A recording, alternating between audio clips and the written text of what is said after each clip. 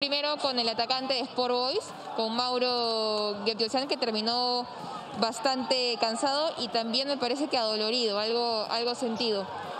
Boys que está sumando un empate, que venía de una derrota de visita frente a UTC. Y por el lado Alianza está sumando su segundo empate consecutivo.